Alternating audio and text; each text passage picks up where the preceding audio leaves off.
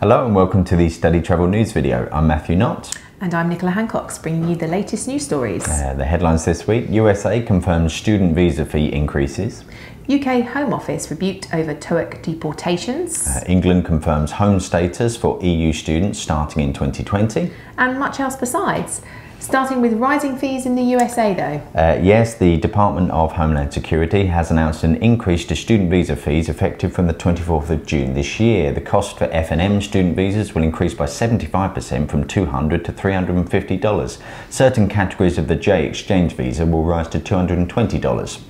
Institutions have also been hit with new charges. The cost for initial certification with the Student and Exchange Visitor Programme, or SEVP, which is required in order to host international students, will go up from 1,700 to $3,000.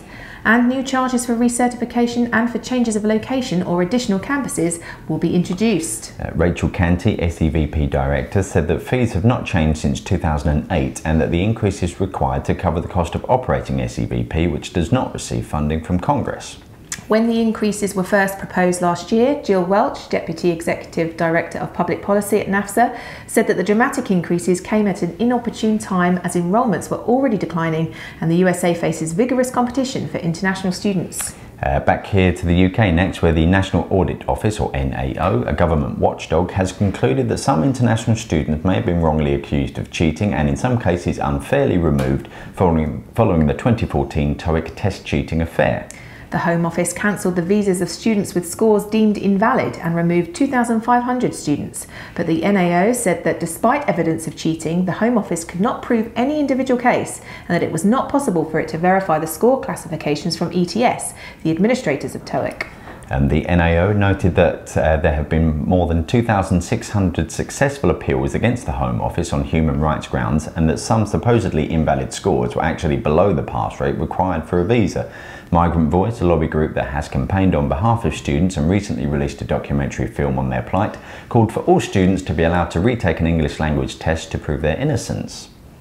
The UK's Universities Minister Chris Skidmore has guaranteed that EU students commencing higher education programmes in England in 2020-21 will have the same fee status and financial support access as domestic students for the duration of the courses, regardless of Brexit outcomes. Uh, the move follows a prior commitment from the Scottish Government to EU students.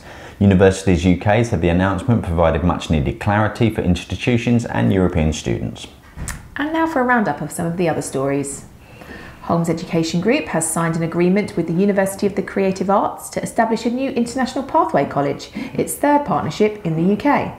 Uh, the latest industry data, the post-Brexit recruitment landscape and new association initiatives, including a review of accreditation, were among the topics at the English UK annual conference last week.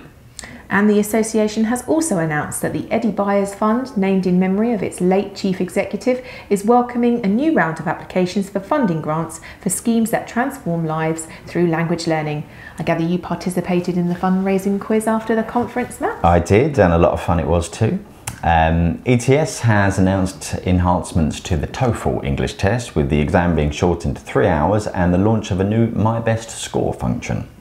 Immigration New Zealand has published the 2018 visa approval rates of agencies from India, the Philippines, and Vietnam. Uh, Lexis Korea has opened a new student residence directly over the road from its Busan Korean language school. And Education New Zealand has launched its new digital platform, NauMai New Zealand, to help international students transition to life in the country. More on all of those stories on our website, of course, as well as a very busy week of photos, including that English UK conference, uh, the NIAS Management Conference, Living Learning English uh, as Teachers Conference, and DILIT International House celebrating 45 years. They started before I was born, although I realise I probably look older. Oh, no. Very kind. Congratulations to them. Thanks for watching. Goodbye. Goodbye.